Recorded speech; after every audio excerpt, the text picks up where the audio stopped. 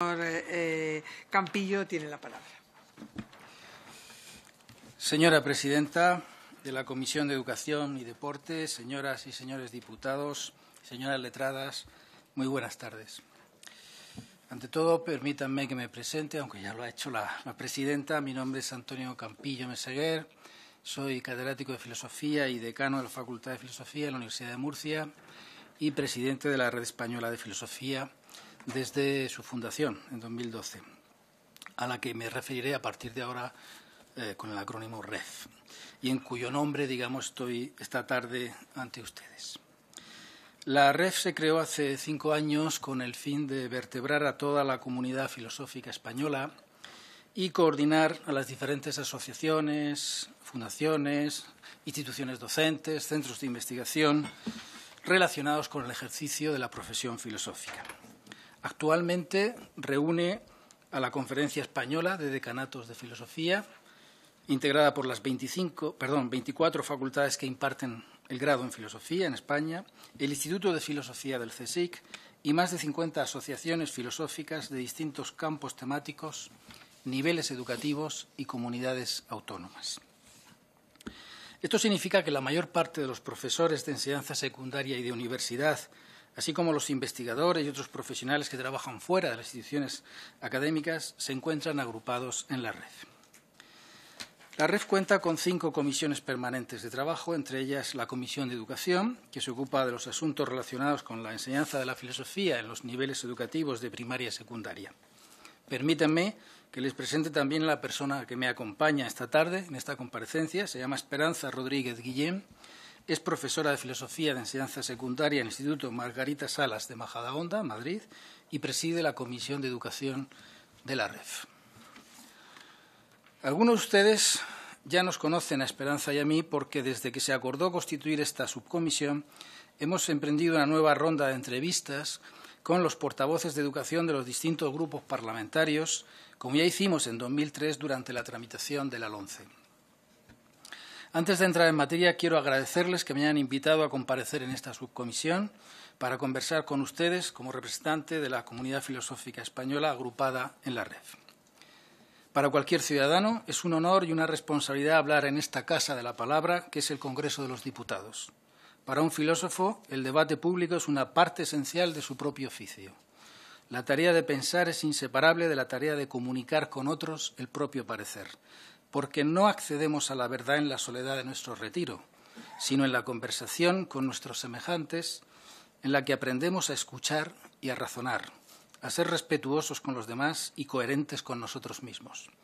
Desde hace tres milenios los filósofos han realizado esa doble tarea por cuatro medios la enseñanza, la escritura, el debate público y los parlamentos democráticos. En la historia política y cultural de Occidente hay un vínculo muy estrecho entre el desarrollo del pensamiento filosófico y la formación de las instituciones democráticas, desde la Grecia y la Roma antiguas hasta las grandes revoluciones modernas con sus constituciones y declaraciones de derechos. Sí, señorías, este Congreso de los Diputados es una institución a un tiempo política y filosófica, un espacio público donde ustedes, como representantes de toda la ciudadanía, ejercen el oficio de la palabra con el fin de llegar a acuerdos comunes, a verdades compartidas, a leyes que puedan ser promulgadas, reconocidas y acatadas como justas. Así que como ciudadano y como filósofo, en este lugar me siento como en mi propia casa. Iniciemos, pues, la conversación, o como suele decirse, vayamos al grano. Como ustedes saben, uno de los problemas fundamentales de nuestro sistema educativo ha sido la falta endémica de consenso político y social y, consiguientemente, la falta de estabilidad temporal de las leyes educativas.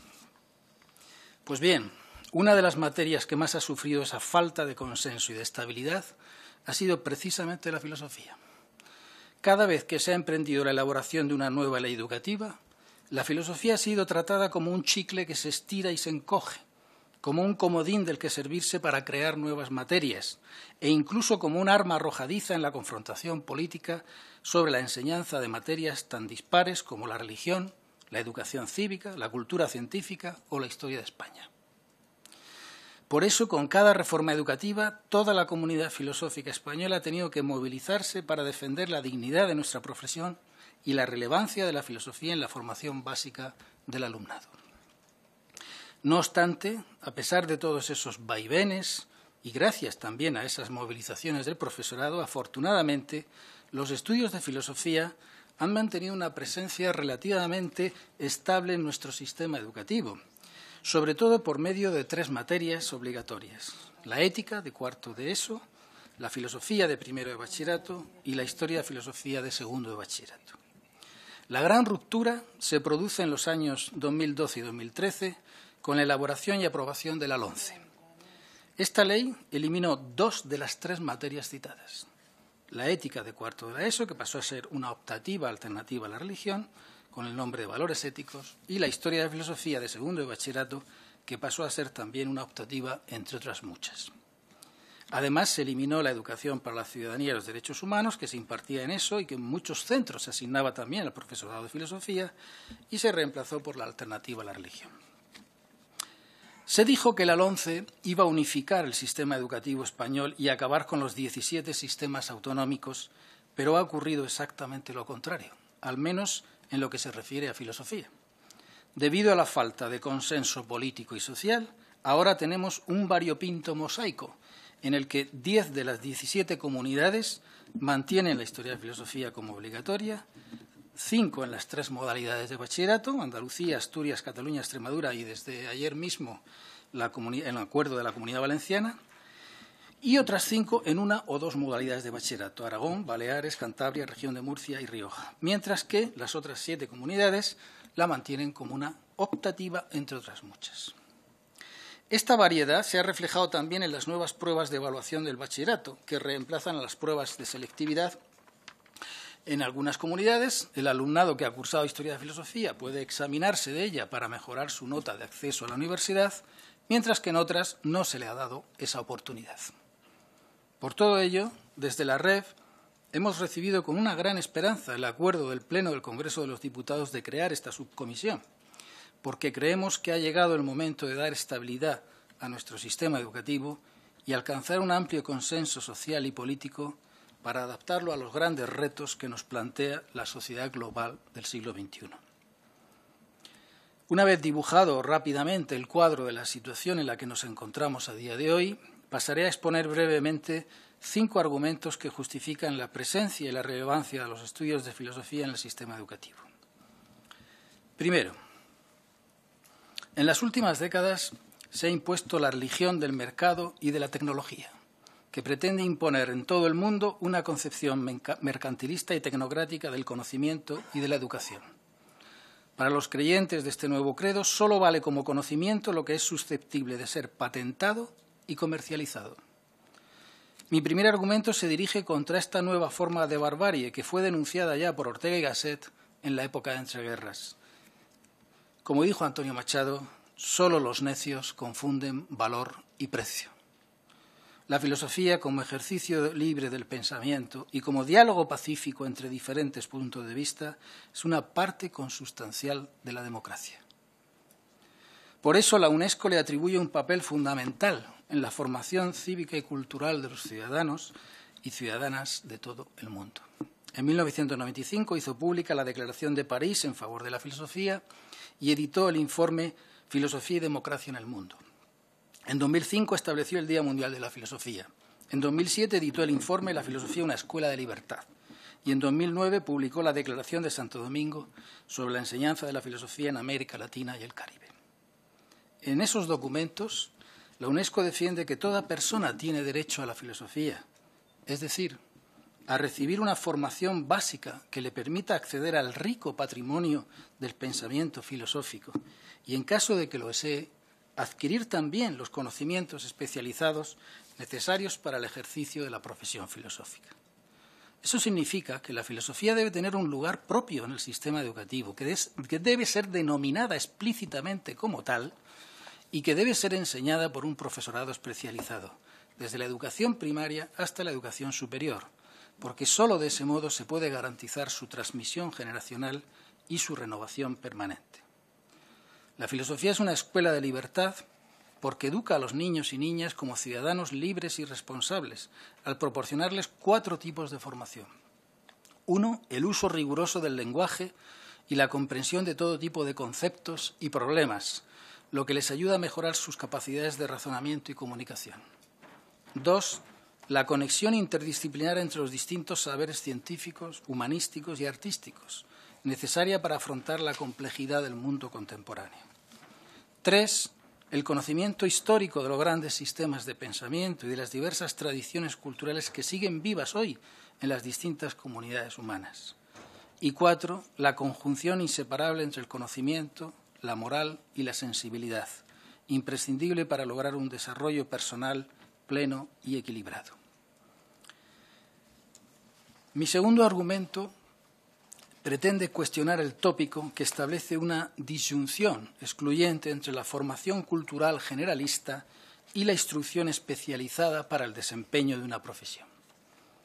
Hay quienes piensan que la filosofía es una parte de esa cultura general, más o menos decorativa, y por tanto prescindible si se pretende una instrucción profesional verdaderamente útil como objetivo prioritario del sistema educativo. De hecho, muchas reformas educativas en muchos países pretenden promover exclusivamente las llamadas materias instrumentales, en el caso de la LONCE, la lengua, el inglés, las matemáticas y la historia, o bien las llamadas materias STEM, reunidas en este acrónimo inglés, ciencia, tecnología, ingeniería y matemáticas. Pues bien, debo decirles que este tópico es completamente falso.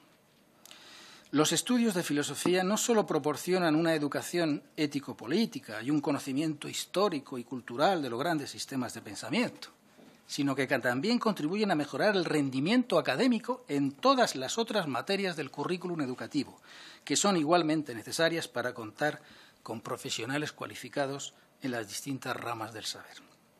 Para demostrarles que esta afirmación no es meramente retórica, sino que está basada en estudios empíricos y en datos estadísticos fehacientemente contrastados, me remitiré a dos documentos muy reveladores. El primer documento es un estudio realizado en el Reino Unido por la Education Endowment Foundation, que es una institución sin fines de lucro dedicada al fomento de la igualdad de oportunidades en el sistema educativo. Esta institución realizó un importante experimento pedagógico durante un curso escolar con más de 3.000 niños de 9 y 10 años que cursaban sus estudios en 48 escuelas inglesas de educación primaria. Se seleccionó a 22 escuelas como grupo de control y en otras 26 escuelas se implantó la filosofía para niños, creada en la década de 1970 por el filósofo estadounidense Matthew Lindman. En una sesión semanal de 40 minutos, los niños podían practicar la reflexión en silencio, la formulación y recepción de preguntas, la atención a las opiniones de los demás, y así aprendieron a debatir sobre la verdad, la justicia, la amistad, el conocimiento. Pues bien, los niños que siguieron esas clases de filosofía mejoraron sus resultados en matemáticas y en lengua inglesa como si hubieran recibido dos meses más de enseñanza en esas materias. Y los niños con mayores carencias formativas dieron un salto aún más grande. Todos ellos mejoraron también en su capacidad para escuchar a los demás y trabajar en equipo. Como dijo la revista Quartz, enseñar filosofía a los niños los hace más inteligentes en matemáticas y en inglés. El estudio fue realizado por tres expertos en educación de la Universidad de Durham los autores llegaron a la conclusión de que la filosofía para niños debería implantarse en todas las escuelas de educación primaria del Reino Unido. De hecho, esta metodología docente se utiliza ya en unos 60 países de todo el mundo. El otro documento no se refiere a la educación primaria, sino a la universitaria. En Estados Unidos, todos los años se realizan unas pruebas para medir las competencias académicas de los graduados universitarios. Los resultados son utilizados para seleccionar a los estudiantes de máster y doctorado. Pues bien, según un informe publicado en 2014 por la Asociación Americana de Filosofía, los graduados en filosofía son los que obtienen los mejores resultados en las competencias lingüísticas y analíticas de todos los graduados universitarios. Y en las competencias de cuantificación se acercan a los resultados obtenidos por los graduados en matemáticas, física, economía, ingeniería, química y ciencias de la Tierra. Los documentos los tienen ustedes, se los he pasado a la secretaria de la Comisión de Educación. Paso ahora al tercer argumento. También aquí pretendo cuestionar otro tópico bastante extendido. Se trata de la disyunción entre las ciencias y las letras. Es decir, la cultura científica y tecnológica por un lado y la cultura artística y humanística por el otro. Esta disyuntiva, institucionalizada y reforzada desde hace décadas por las políticas públicas de educación y de investigación, fue denunciada ya por el físico y novelista inglés Charles Snow en su conocida obra Las dos culturas, de 1959. Como decía Snow, esta división nos incapacita para afrontar los grandes problemas del mundo contemporáneo. Su afirmación es más cierta todavía hoy, en este siglo XXI en el que hemos de enfrentarnos a los retos éticos y políticos derivados de las nuevas tecnologías digitales, la ingeniería genética y biomédica, los grandes riesgos ecológicos, los conflictos interculturales, etc. Por eso, científicos y pensadores como el biólogo Edgar Morin proponen una reforma educativa que asuma el nuevo paradigma de la complejidad en el que los diversos saberes científicos, humanísticos y artísticos deben complementarse para ayudarnos a comprender la condición humana en el marco de la nueva sociedad global. Pues bien, en ese nuevo paradigma de la complejidad, como dice el propio Moren, la filosofía debe ejercer un papel crucial debido a su capacidad para tender puentes entre las diversas disciplinas especializadas. Desde la Grecia antigua hasta el presente, ha habido filósofos que han sido también matemáticos, físicos, biólogos, médicos, historiadores, juristas, economistas, escritores, músicos. La filosofía no pertenece a las humanidades, ni a las ciencias, ni a las artes, sino que más bien proporciona a todos los seres humanos la capacidad para conectar las unas con las otras. Por eso debe ocupar un lugar central en la formación básica de todos los chicos y chicas. Les daré dos datos para que entiendan hasta qué punto la filosofía se encuentra en el centro de los grandes debates contemporáneos. Hace apenas dos semanas, los días 5 y 6 de mayo, se celebró en Murcia la final de la cuarta Olimpiada Filosófica de España. Han participado 458 centros escolares de 16 comunidades autónomas y han resultado finalistas 65 estudiantes distribuidos en las cuatro modalidades de la Olimpiada, disertación filosófica, dilema moral, fotografía y vídeo.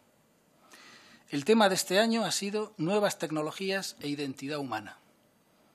Pues bien, los doce estudiantes premiados han demostrado una sorprendente lucidez a la hora de analizar los problemas de todo tipo que nos plantean las nuevas tecnologías. Y una importante editorial española se ha ofrecido a publicar los trabajos ganadores. Esto revela que el profesorado de filosofía de enseñanza secundaria está realizando una labor fundamental en la formación de los chicos y chicas del siglo XXI. El segundo dato es igualmente significativo. Del 13 al 15 de septiembre de este año va a celebrarse en Zaragoza el segundo Congreso Internacional de la Red Española de Filosofía, con el título Las fronteras de la humanidad. Se han seleccionado 400 comunicaciones distribuidas en 12 secciones temáticas y 20 simposios monográficos. Les daré el título de algunos de los simposios para que sepan ustedes en qué están pensando los filósofos españoles de hoy. Las migraciones y las fronteras de la justicia. Neuroética y neuroeducación, directrices para las éticas aplicadas. En tiempos de extrema amenaza, respuestas éticas y políticas a la crisis civilizatoria. Filosofía del nacimiento. Repensar el origen desde las humanidades médicas. La humanidad vulnerada, violencia, globalización y género. Proximidades y lejanías entre la computación en la nube, la Internet de las cosas y la experiencia de la vida. Estos son solo algunos títulos de los simposios. Como ven, la filosofía española está hoy más viva que nunca y muy atenta a los grandes retos que nos plantea el mundo contemporáneo. Esto me lleva al cuarto argumento, que es también el cuestionamiento de otro tópico. En este caso, el tópico de que en España no hay una tradición filosófica propia como en otros países europeos. Una vez más, se trata de una falsedad. Me limitaré a recordar el último siglo y medio. Con los krausistas y la institución libre de enseñanza, surgió en España una generación de intelectuales conectados con las grandes corrientes del pensamiento europeo.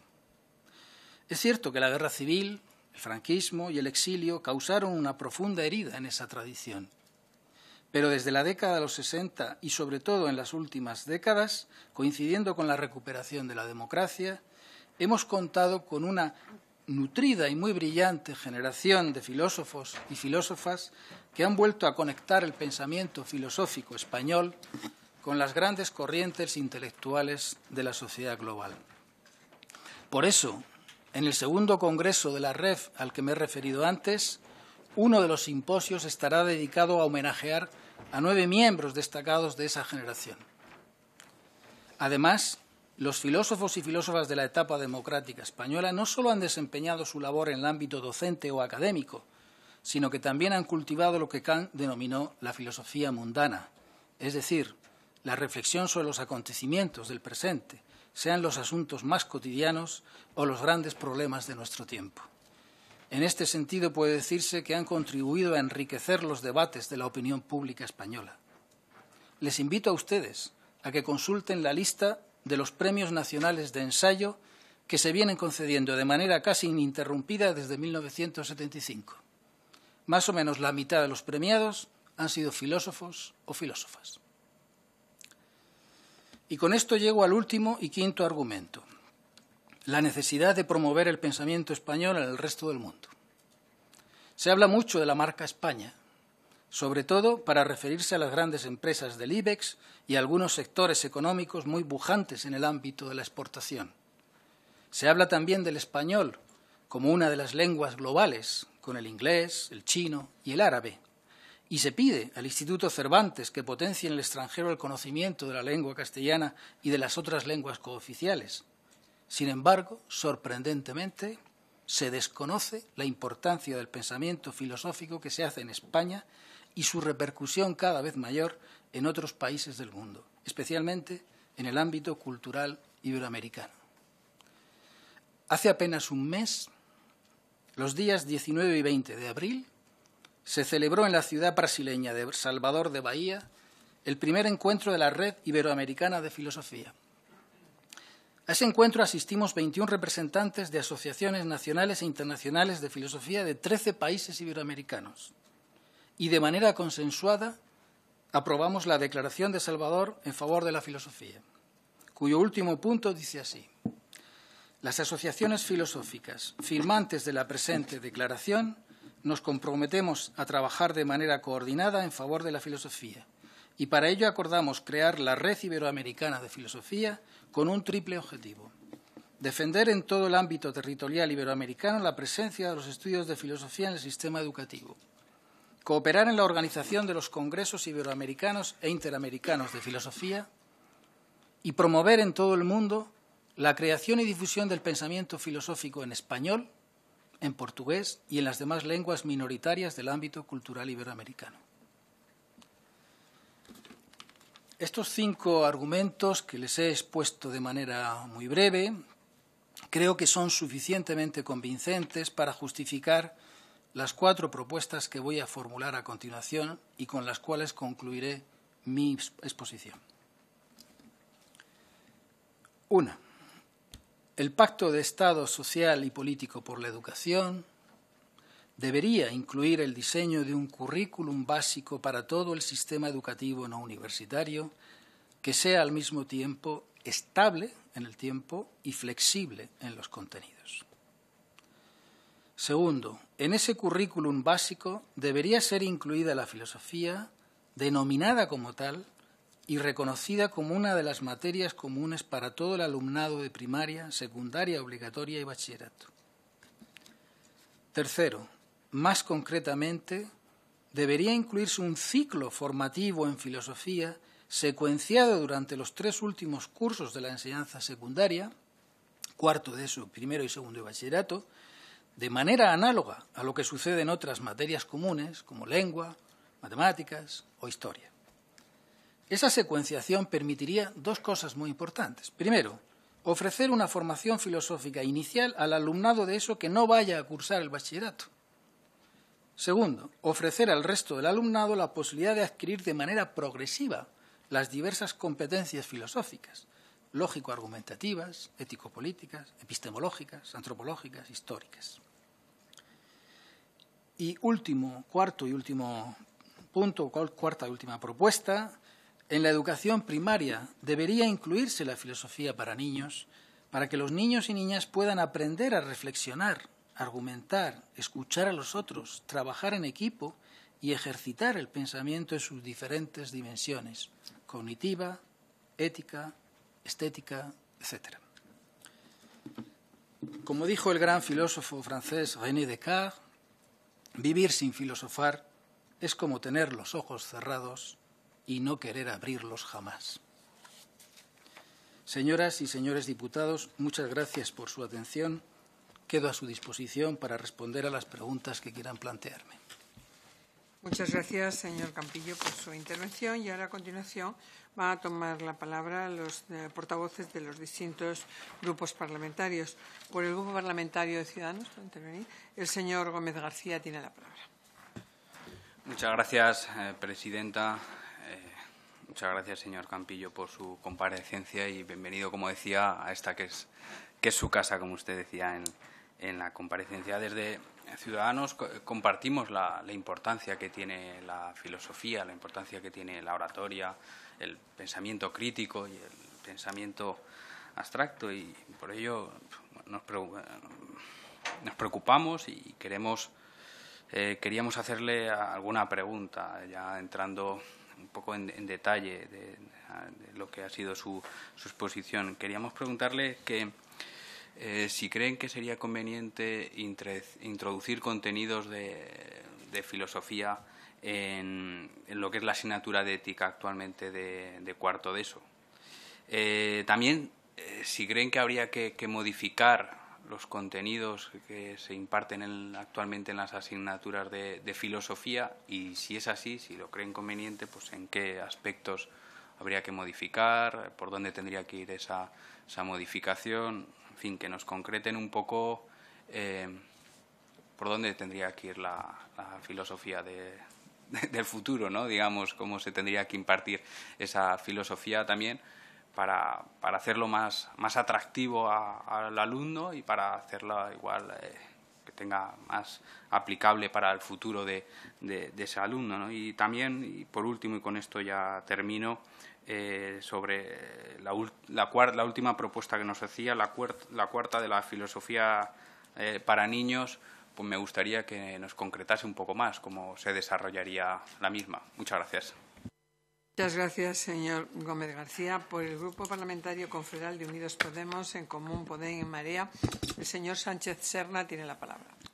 Gracias, presidenta, y, agradecer también la ponencia brillante del, profesor Campillo, que ha sido, creo que, una defensa razonada, pero también ciertamente apasionada de, la filosofía.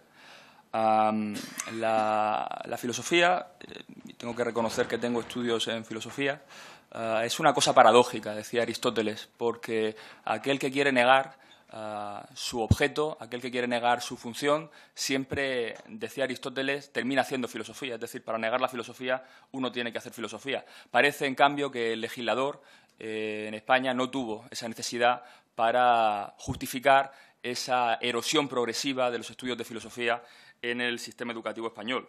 La filosofía como asignatura en los estudios obligatorios y en el bachillerato eh, viene siendo cuestionada desde hace bastantes años. Yo recuerdo una manifestación en Madrid en el año 2005 donde veníamos con pancartas que decían eh, pienso, luego estorbo. Eh, a raíz de la tramitación también de la ley socialista de la LOE se puso en cuestión el papel de la, filosofía en la, educación secundaria y en el bachillerato, pero sin duda la peor parte nos la hemos llevado con la, con la LONCE. La LONCE, efectivamente, se ha, dicho, elimina dos de las tres materias obligatorias que venían componiendo el ciclo, el ciclo, completo de los estudios de filosofía en la educación secundaria y deja solamente una eh, materia troncal, la filosofía de primero de bachillerato.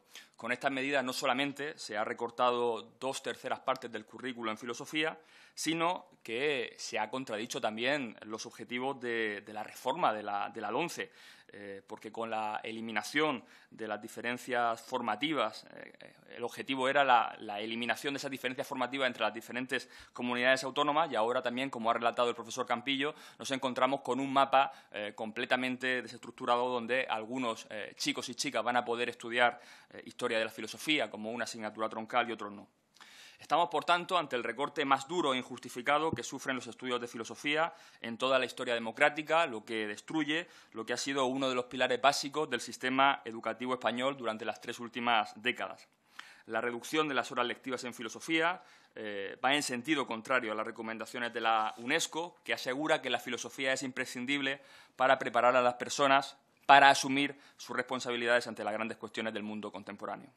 No se trata, por tanto, de una mera queja corporativa para que los profesores de filosofía no perdamos nuestro trabajo. Se trata de algo más importante, se trata de decidir eh, el modelo de educación que queremos y pocas veces en esta subcomisión hablamos de para qué educar.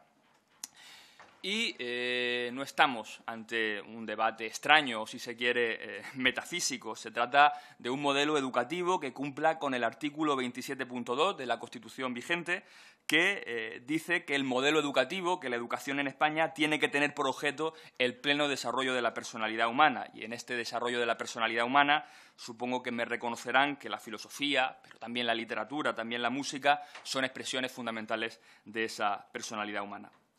En cambio, ningunear la filosofía, como se ha hecho con la LONCE, eh, bueno, pues eh, da un mensaje preocupante. Viene a decir que a esta ley le importa poco ocuparse del lado, digamos, crítico, humanístico de la, formación, o directamente no crematístico, eh, pero que es el lado que nos permite tener criterios, ideas, afán crítico, curiosidad, el que nos permite, por ejemplo, estar en este Congreso compartiendo y actualizando ideas como soberanía, derecho, división de poderes o libertad.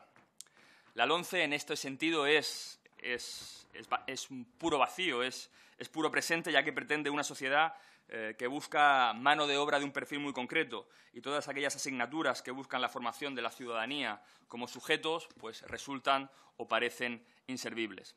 Esta perspectiva significa minimizar la enseñanza del pensamiento crítico y empobrecer la democracia, imponer un modelo social de individuos sumisos, socavar ese ideal de democracia en el que una ciudadanía crítica gobierna su vida de una manera libre y activa y cuestiona permanentemente el ejercicio del poder y de las normas que rigen la sociedad. Lo que se olvida con demasiada frecuencia por parte de algunos eh, legisladores o expertos en educación es que durante los años de la educación obligatoria, los años del bachillerato, los estudiantes no solo aprenden unas materias con las que encontrar un trabajo, sino que se forman como personas. Por otra parte, esta disminución de las horas docentes de filosofía de la que venimos hablando también ha repercutido y está repercutiendo en las facultades de filosofía y en el propio sistema universitario, ya que se ve seriamente mermada la demanda de profesionales de la filosofía, lo que conducirá, y está conduciendo en poco tiempo, a un deterioro de su estudio e investigación y a la postre a su presencia crítica y orientadora en nuestra vida individual y comunitaria. Por tanto, compartimos las eh, conclusiones del profesor Campillo cuando dice que es crucial mantener como materia común la historia de la filosofía, puesto que la ética eh, de, cuarto de la ESO y la historia de la filosofía de segundo de bachillerato, junto con la filosofía de primero, constituyen un ciclo formativo completo y coherente, análogo de otras materias básicas como son la lengua, las matemáticas y la historia, y como tal forma parte de nuestro sistema eh, educativo y así ha formado parte durante los últimos 30 eh, años. El pacto educativo, por tanto, creo que debe reparar el daño que se ha causado hasta ahora a los estudios de filosofía y reconocer la presencia educadora de la filosofía en la sociedad. Sin ella, los alumnos apenas llegarán a comprender un, legado cultural sin el cual, como decía antes, es imposible entender la idea propia de, este Congreso o de la división de poderes. Efectivamente, las nuevas generaciones merecen eh, una formación a la vez científica, reflexiva y ética que les permita comprender los fundamentos ideales y normativos de nuestra sociedad para, de este modo, mejorar su capacidad de argumentación, comprensión y capacidad de valoración de ideas y valores. En definitiva, su capacidad para formar ciudadanos ilustrados que hagan posible eh, y sostengan una sociedad democrática. No voy a formular ninguna eh, pregunta concreta al profesor Campillo, creo que ha hecho una intervención bastante clara. Quería con esta intervención también manifestar eh, la voluntad del, grupo Unidos Podemos en Común Podem en Podemos para reparar, digamos, este daño a la, a la materia y al ciclo de filosofía. Gracias. Muchísimas gracias, eh, señor Sánchez. Por el Grupo Parlamentario Socialista tiene la palabra el señor Jiménez Tortosa. ¿No? Señor ¿No? Cruz. el Señor señor- Cruz. Bueno, muchas gracias, señora presidenta. Eh, yo quiero empezar eh, felicitando al, al Grupo Unidos Podemos por el acierto en invitar a- al doctor Antonio Campillo. Eh, el portavoz del, del grupo parlamentario y el propio compareciente sabe que si por cualquier razón ellos no lo hubieran hecho, lo hubiéramos hecho nosotros con, con muchísimo gusto. Eh, me parece un acierto, en primer lugar, por, por la representatividad del compareciente. Creo que efectivamente la, sociedad que él, que preside, la Red Española de Filosofía, es la sociedad más representativa de la comunidad filosófica, pero además de ser representativa, digamos que cuantitativamente, también lo es cualitativamente. Creo que el acierto de sus planteamientos está ayudando extraordinariamente a, los filósofos y las filósofas de este país. Eh, me alegro, por supuesto, que el compareciente esté a favor del pacto y le, felicito por, eh, digamos, el ejercicio de filosofía que ha hecho hoy aquí. No sé si decir de filosofía o con una especie de guiño cómplice decir de metafilosofía. En todo caso, ha sido un ejercicio a mi juicio, extremadamente brillante y yo quiero manifestar mi, acuerdo con, todas sus tesis.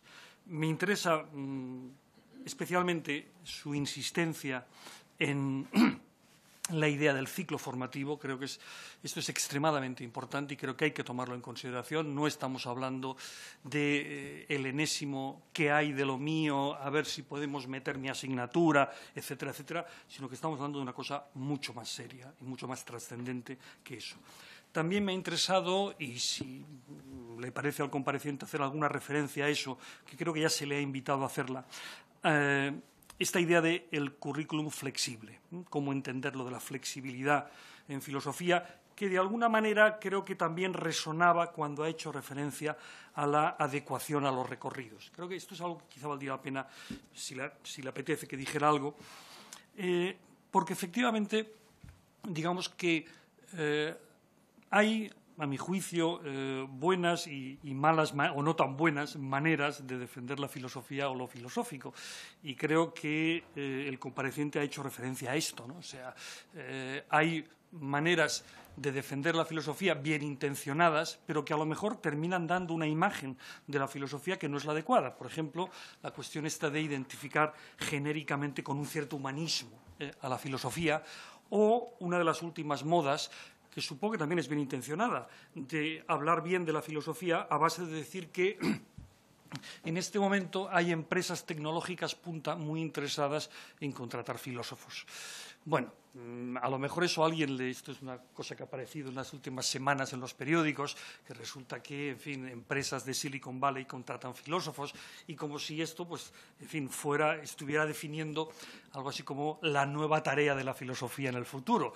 En fin, se agradecen las buenas intenciones, pero yo estoy convencido que el empresario de Silicon Valley que contrata a un filósofo para que se lo cuestione todo, en el momento en el que el filósofo se cuestionara, por ejemplo, la propiedad de la empresa de Silicon Valley, ya dejaría de gustar. Es decir, que, en fin, eh, todo, pero no demasiado, probablemente. Es que, pero bueno, está bien. Pero yo creo que la especificidad, el compareciente la ha señalado bien. En el fondo, de lo que se trata es de que la filosofía nos ayuda a hacernos eh, las preguntas difíciles, no las preguntas obvias. Aquello que decía Adorno, ¿no? cuando le decían, ¿para qué sirve la filosofía? Para preguntarse el valor de la pregunta, ¿para qué sirve la filosofía? ¿Por qué para usted es tan importante que sirva? Preguntémonos por esto. Este es, digamos, el plan en el que se, se coloca. Eh, Obviamente, aparte de hacerle alguna esta pregunta o este simulacro de pregunta que le he hecho sobre la flexibilidad, eh, me cuesta mucho eh, preguntarle nada más, porque como se puede imaginar, mi acuerdo es profundo con todo lo que ha dicho. En todo caso, creo que en alguna de sus afirmaciones iniciales, que a lo mejor alguien apresuradamente podría considerar que eran afirmaciones, bueno, digamos, un punto retóricas a propósito del valor de la filosofía, etcétera, creo que eh, se contenían eh, elementos extremadamente importantes.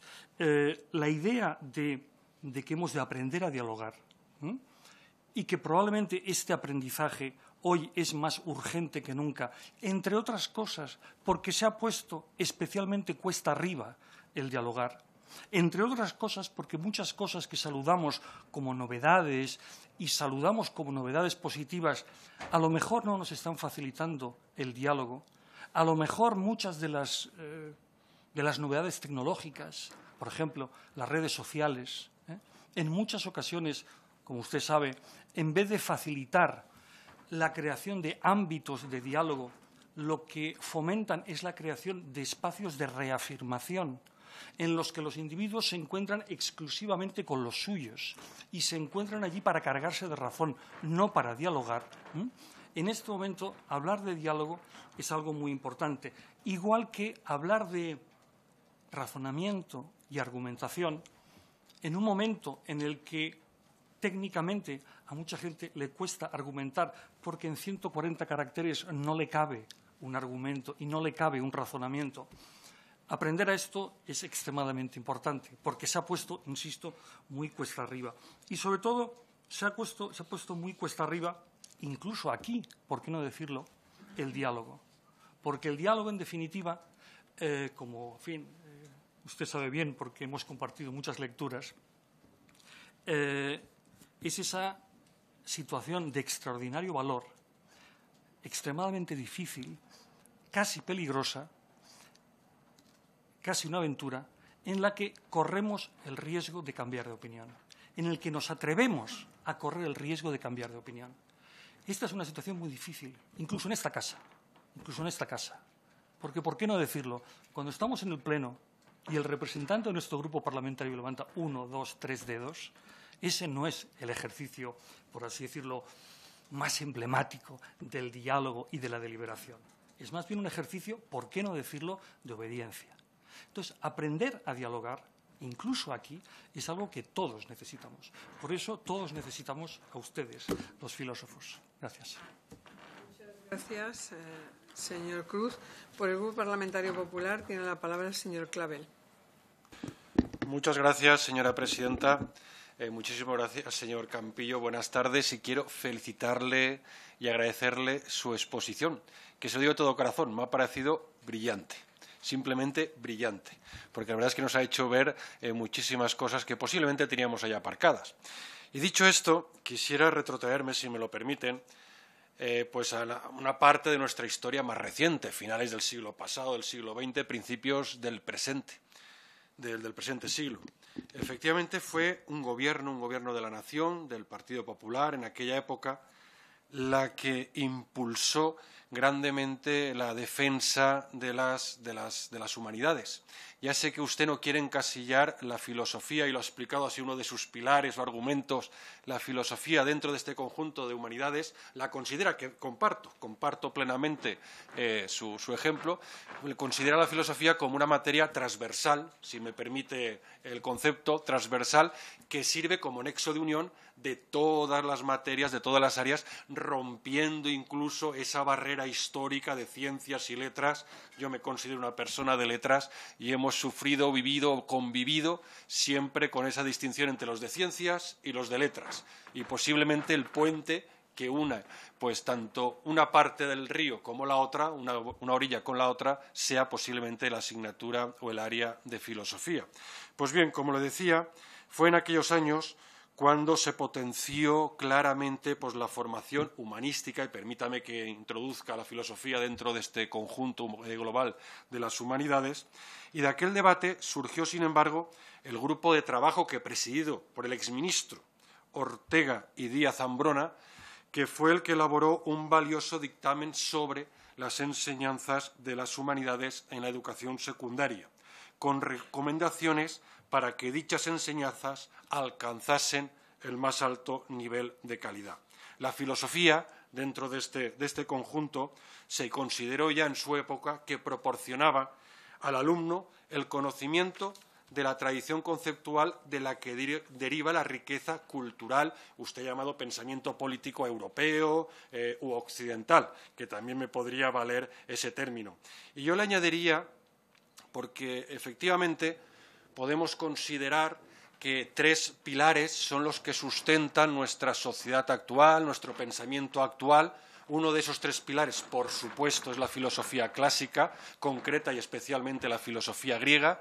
El segundo podría ser perfectamente el derecho romano, que es el segundo pilar que sustenta nuestra sociedad o nuestra forma de vivir eh, de manera occidental el mundo y la vida, y el tercero, junto a la filosofía griega, el derecho romano, el humanismo cristiano, que son los tres eh, estandartes que posiblemente originaron lo que hoy conocemos como Europa, como el viejo continente. Bien, sin menoscabo del resto de las enseñanzas y con una visión integradora, por supuesto, de los saberes y una concepción eh, flexible de las diversas materias, las humanidades quedaron debidamente potenciadas a lo largo de todo el literario formativo, estoy hablando de aquellos años, no de la actualidad, y particularmente en el bachillerato. Dicho esto, dicho esto, señor Campillo, efectivamente yo soy muy autocrítico y hay que hacer autocrítica. Y estamos hablando eh, que tenemos que llegar, o estamos en la necesidad, en la urgencia, en la obligatoriedad de poder llegar a un pacto educativo que perdure durante años y no esté a la expensa del eh, cambio del color político del gobierno de la nación. Por eso insisto y me gusta hacer autocrítica no lo digo por usted ni por ni mucho menos, pero aquí en esta serie de comparecencias llevamos unas cuantas y otras tantas que nos quedan todavía en esta subcomisión creada para tal hecho, para tal finalidad, que es el pacto educativo, el Partido Popular no va a poner ningún inconveniente ninguno, reconociendo, como usted ha dicho, que solamente se queda la asignatura de filosofía de primer de bachillerato, que se elimina la de cuarto de la ESO, que se elimina la historia de la filosofía, y le hablan a un filósofo, le habla a un historiador. Pero bueno, pero si me permite, por eso entro en ese cajón de humanidades. Pero eh, efectivamente desapareciendo esas asignaturas y lo reconocemos y damos por hecho que debe haber un orden de, pues un cambio en la ordenación académica que mejore que potencie la asignatura de filosofía en sus diferentes variedades, no solamente en la educación secundaria obligatoria y en el bachillerato, sino también, sino también en, en, la primaria, como usted ha dicho. Y me ha llamado muchísimo la atención lo de esas, impartir esas clases de filosofía en primaria, que me parece muy bien. Sabe usted que en primaria existen tres ciclos, eh, muy diferenciados, de dos en dos cursos, cada uno de ellos. No tiene nada que ver pues, el primero de primaria con el sexto de primaria. Me gustaría que incidiese en qué consistiría, porque vemos positivo, en qué consistiría esa, impartir, impartir esas clases de filosofía en la primaria, al igual que también otra pregunta que le hago es, usted ha comentado no solamente en filosofía, en cualquier materia que impartamos eh, pues en secundaria, los profesores, en mi caso, historia. Eh, cuál de los modelos, de los 17 modelos educativos que puede haber en toda España, correspondientes cada uno, me imagino, a cada comunidad autónoma, cuál de ellos, centrándonos en filosofía, por supuesto, considera que es el mejor o que a nivel nacional se podría adaptar eh, los mínimos, aunque fuesen los mínimos, para eh, tener ya algún modelo a seguir. Y, por supuesto, la última pregunta, señor señor Campillo, es eh, también muy fácil. Hemos hablado de educación secundaria obligatoria, hemos hablado de bachillerato, hemos hablado de primaria, pero a veces nos dejamos aparcado o abandonado eh, también otra formación educativa que cada vez está cogiendo más peso, que cada vez está siendo más demandada por muchos estudiantes, que son los módulos formativos. Porque normalmente el que estudia normalmente, no siempre, ¿eh? estoy generalizando, el que estudia cuarto de la ESO es con mucha probabilidad, no toda, pero mucha probabilidad para pasar a bachillerato y de bachillerato a cursos universitarios, a la formación universitaria. Y dejamos siempre aparcados o abandonados los módulos formativos que posiblemente tengan una finalidad diferente. Pero si estamos hablando y estamos aquí comentando de crear esas personas, de crear esos pensamientos libres y preparados y formados, cómo podemos enfocar hacia ese colectivo de estudiantes también la asignatura de filosofía. Y finalizo ya, señora presidenta, agradeciendo de nuevo al señor Campillo, insisto, y no se lo digo por quedar bien, me ha parecido brillante su exposición aquí hoy, y le digo ya que el Partido Popular, el Grupo eh, Popular en el Parlamento, no pondrá ningún inconveniente para llegar a un posible acuerdo, que esperemos que sí lleguemos, en cuestión de, la filosofía. Muchísimas gracias. Gracias, señor Calaver. Mm, ahora, terminadas las intervenciones de los distintos grupos parlamentarios, el señor Campillo tiene la palabra para responder a las cuestiones eh, planteadas.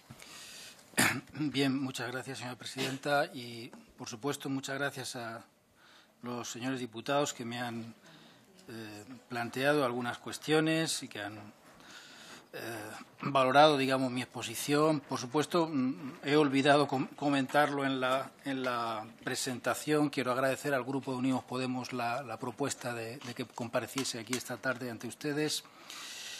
Eh, voy a seguir el orden de las intervenciones. El señor Gómez García, del, Grupo Ciudadanos. Eh, bueno, me preguntaba por los contenidos de filosofía en ética y en las otras materias y por el tema de filosofía para niños ha salido varias veces, o sea que lo responderé, digamos, unitariamente. ¿no? Bueno, es que nosotros, precisamente esa es una de nuestras quejas, que ética ha cambiado de nombre, ahora mismo no se llama ética, se bueno, ahora mismo, ahora ya se llamaba antes en la ley anterior educación ético-cívica, o sea, ha ido cambiando de denominación, esa era una de nuestras quejas el que se utilicen las materias de filosofía como un comodín, como un chicle para reordenarlas por eso la UNESCO dice, esto no es baladí, que se denomine filosofía. La ética es una parte de la filosofía, desde Aristóteles, desde la ética aristotélica, es una parte de la filosofía. Entonces, eh, por eso incluso nosotros, nosotros mm, tenemos elaborada una propuesta. Evidentemente yo aquí en 20 minutos o 30 minutos no, puedo desarrollar una propuesta detallada del currículum. Eh, y además creo que no sería tampoco conveniente. Creo que eso mm, eh, en su momento, digamos, deben formarse comisiones redactoras de los currículum. Eh, se han hecho generalmente eh, con las leyes educativas. Lamentablemente con la LONCE no se hizo, pero en todas las leyes precedentes, bueno, cuando había que confeccionar el currículum, pues el Ministerio, digamos, nombraba una serie de especialistas, tanto de secundaria como de universidad, seis, ocho, diez personas, para confeccionar los currículum y que fueran digamos, relativamente eh, consensuados por los distintos miembros de esas comisiones. Entonces, nosotros como REVE estamos evidentemente dispuestos a colaborar con el Ministerio, con la Administración Pública, con las comunidades autónomas, a eh, elaborar esos currículums cuando llegue el momento. ¿no? Pero le decía, nosotros en la propuesta que hemos elaborado y que la tienen ustedes, enviado a la se me ha olvidado, creo, decirlo a la secretaria de esta comisión, aparte del texto de mi intervención, una serie de documentos como los que he citado a lo largo de la exposición y entre ellos un documento eh, que elaboró la REF en 2013 sobre eh, la enseñanza de la filosofía en el sistema educativo no universitario. Es decir, es un documento mucho más detallado donde especificamos ya. Y entonces, una de nuestras propuestas era justamente que porque la filosofía no es una asignatura, es un ciclo formativo, con esto contesto también al, señor Cruz, como lengua, como matemáticas. Matemáticas se llama matemáticas, aunque un año se de álgebra, otro año se de geometría, o historia, aunque año se de ¿no? historia de España o historia universal. Es decir, justamente se marca el carácter de ciclo de una formación, o lengua, ¿no? porque transita, digamos, por varios cursos, aunque los contenidos de cada curso evidentemente son diferentes, porque se supone que el chico va adquiriendo, ¿no? Primero tiene que saber a sumar, restar, multiplicar, luego eh, quebrado, luego álgebra, luego no. Eh, hay una secuenciación de los contenidos en el ciclo formativo, aunque la materia se llame siempre matemáticas o lengua o filosofía. Es decir, filosofía, en el caso de cuarto de la ESO, digamos, filosofía 1 sería, podría ser, digamos, eh, o predominar en esa filosofía uno de los contenidos éticos, ¿no? de reflexión ética, de análisis de los distintos sistemas éticos, de los problemas que plantea.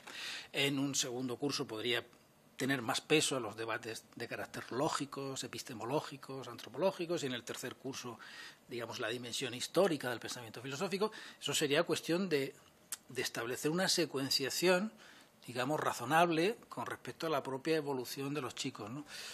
Eh, pero claro, para eso hay que comenzar por reconocer que tenemos que incluir en el currículum ese ciclo formativo. A eso me refiero, ¿no? Eh, que los contenidos tienen que estar secuenciados. Entonces, en cuarto de la ESO, hasta ahora ha sido eminentemente ética, pero los profesores de ética, cuando se encuentran el primer día de clase con los chicos, tienen que empezar a darles nociones muy básicas de filosofía. O sea, la ética de cuarto es una especie de introducción a la filosofía, aunque luego los profesores se centran de hecho, en ética, ¿no? como una rama o una parte de la filosofía. Eh, y, en, y, segundo bachillerato se centran fundamentalmente en la historia, en la dimensión histórica. ¿no? Eh, con respecto a filosofía para niños, y esto también contesto algunas de las... Bueno, esta es una metodología que tiene ya o sea, prácticamente 40 años, quiero decir que es una metodología muy es una metodología docente. ¿eh? Muy acreditada. No se trata de explicar a Platón, ni a Kant, ni a Descartes, a los niños en absoluto. Es una metodología docente de aprender a pensar, que eh, fue diseñada por este filósofo Matthew Lehman, de orientación pragmatista en Estados Unidos, que está basada en relatos, en novelitas pequeñas. Desde, se comienza aproximadamente con niños de 5 años hasta 17, 18 años, o sea, todo el ciclo formativo son pequeños relatos eh, donde hay personajes y donde se plantean problemas, situaciones. Entonces, ese es como el material didáctico a partir del cual los niños en clase es una metodología muy activa, se forman lo que se llama una comunidad de investigación. El profesor no da lecciones magistrales, sino que eh, hace como Sócrates, ¿no? La mayéutica, es decir, eh, enseña a los niños a hablar en público, a expresarse, a responder preguntas, a hacerse preguntas unos a otros. Tienes una metodología muy activa. Entonces, los y, es sorprendente cómo los niños de, eso, de 7, 8, 10 años son capaces de preguntarse, pues eso, pues por la muerte, por la vida, por la verdad, por la justicia, por lo... ¿no? Eh, entonces, es una metodología muy eficaz, muy eficaz. De hecho, en España, muchos maestros y maestras la utilizan ya. Eh, eh, Filosofía para Niños es una asociación internacional que da cursos de formación para profesores, para maestros. Entonces, los maestros que les interesa esta metodología, digamos, la aprenden, eh, cuentan con ese material didáctico y la implantan en sus clases de, de la escuela. ¿no? Lo que ocurre es que es una metodología, bueno, digamos por así decirlo, que se implanta voluntariamente por parte de los maestros interesados. No está institucionalizada en el sistema educativo español. ¿no? Nosotros lo que proponemos es que se reconozca justamente la, importancia educativa de esa metodología docente. ¿no? Le llamamos filosofía para niños, le podemos llamar aprender a pensar, le podemos llamar como queramos, pero es una metodología que fundamentalmente inicia a los niños en el ejercicio del pensamiento, de la conversación, del escuchar al otro, del trabajo en equipo. Eh, claro, por eso produce rendimiento en cualquier disciplina. Luego son niños, cuando tienen clase de matemáticas o de lengua o de historia, están más activados intelectualmente, tienen una capacidad, adquieren unas capacidades intelectuales que son transversales a las distintas materias. ¿Mm? Esa es la gran potencialidad que tiene la, filosofía para niños, ¿no? o sea, esta metodología. Eh, mm, Bien, eh, lo del bueno, lo del ciclo formativo creo que lo he respondido y lo del currículum flexible es que creo que los legisladores tienen una tendencia a cerrar, a cerrar los currículums, a hacer unos, unas listas como las listas de los Reyes Jodos, ¿no? es decir, hacer unas listas de temas, de materias, de autores, de tal, excesivamente prolijas y rígidas, y creo que tenemos que ir a un sistema educativo, a una reforma educativa que, que no predetermine tanto los contenidos, que deje cierto margen a los centros, a los profesores, decir, que hombre, trace unas líneas básicas, trace unas líneas básicas de lo que un niño debe aprender por ciclos, etcétera. Pero, por ejemplo, si queremos que haya mucha más yo que he defendido aquí que la, filosofía tiene que ser transversal. Los profesores, de hecho, en los institutos, los profesores de filosofía, a veces trabajan en proyectos con el de física, con el de biología, con el de literatura, ¿no? Y hacen proyectos conjuntos, ¿no? Pues sobre ilustración o sobre el evolucionismo o sobre pues hombre, pues es bueno dejar a los centros, a los profesores que eh, digamos determinados contenidos los diseñen justamente de manera transversal que permitan la colaboración entre unas materias y otras, lo que ahora se llama trabajar por proyectos, ¿no? muchos, de hecho, hay ya colegios que incluso han adoptado ¿no? esa metodología de trabajo por proyectos, en donde no es que desaparezcan las materias, pero ya no son compartimentos estancos las materias, sino, sino que a los niños se les plantea un tema, pues qué sé yo, ¿no? Eh, las migraciones o el cambio climático o lo que sea, ¿no? y entonces las distintas materias, biología, eh, historia, filosofía, colaboran en que el niño investigue sobre ese problema y vea justamente las distintas caras que tiene ese problema, ¿no? Edgar Morin se refiere a eso, es decir, es que a los niños tenemos que enseñarles, bueno, pues por ejemplo el cambio climático tiene cuestiones de geología, de química, de física, de biología, de economía, de sociología, de historia. Centrándose en un problema, el niño puede aprender contenidos de varias disciplinas, ¿no? A eso me refiero yo. Creo que el legislador tiene que confiar más en el profesorado. Si hacemos una buena selección de profesorado, no tiene sentido que luego no nos fiemos de los profesores. Si seleccionamos al profesorado y creemos que lo hemos seleccionado adecuadamente, luego tenemos que darle cierto margen de confianza para gestionar los contenidos. En el caso de filosofía, como he dicho antes, mm, no creo que yo deba presentar aquí un currículum, sino que manifestar nuestra disposición como Red Española de Filosofía a que en el caso de que se establezca un currículum básico, nosotros estamos dispuestos a colaborar en la confección, por supuesto, en la actualización, la revisión. Nosotros no queremos mantener el currículum tal y como está, o que estaba en las leyes anteriores. Entendemos que tiene que actualizarse, pero que se nos dé la oportunidad, que se nos dé la oportunidad. Eh, mm, por ejemplo, el tema de la flexibilidad también en el caso de segundo y bachillerato, nosotros ya hablamos cuando se estaba tramitando la LONCE con el grupo parlamentario del Partido Popular, estuvimos hablando con Sandra Moneo, recuerdo Esperanza y yo estuvimos en entonces hablábamos de la posibilidad de que la historia de filosofía se remodelase como historia de filosofía de la ciencia, porque entendíamos que para los estudiantes de ciencias era muy importante pues conocer cómo, se hizo la evolución científica, ¿no? cómo se surgió el evolucionismo, cómo, decir, cómo cómo encajar las distintas disciplinas, biología, física, matemáticas, con la historia del pensamiento. ¿no? Porque para ellos eso. De hecho, teníamos una carta de la Sociedad Española de Historia de Medicina diciendo cómo es posible que desaparezca historia de filosofía si para nosotros es fundamental. ¿no? Eh, es decir, a eso me refiero, ¿no? La flexibilidad es que permitiría adaptar ese mismo currículum a alumnos de humanidades, a alumnos de ciencias, de manera diferenciada, ¿no? Bueno, creo que he contestado a todas las cuestiones. Agradezco las palabras de los distintos diputados y, bueno, y espero que efectivamente logren ustedes llegar a un pacto educativo.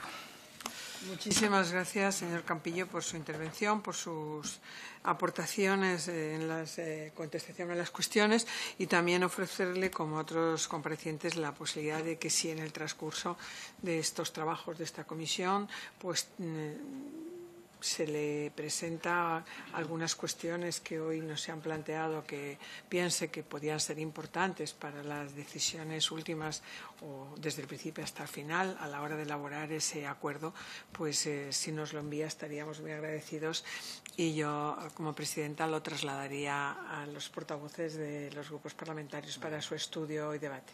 Muchas gracias. Muchas gracias.